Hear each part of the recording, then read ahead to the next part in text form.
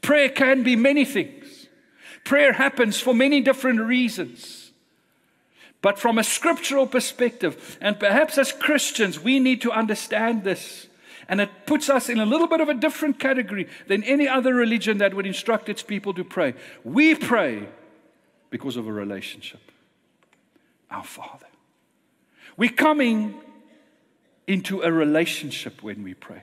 You see, probably most of us, prayer happens in our lives because of a need.